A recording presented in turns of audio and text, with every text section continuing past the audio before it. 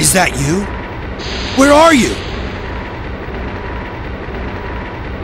I can see you on the monitor. But never mind that right now. Leon, you have to go back and get Sherry from me. I left her in the security office. Please, you must save her. Wait a second! What are you gonna do? Where are you going? I still have a few loose ends to take care of. I'm counting on you. Hello? Claire, are you there? Claire! The security office? Oh, All employees.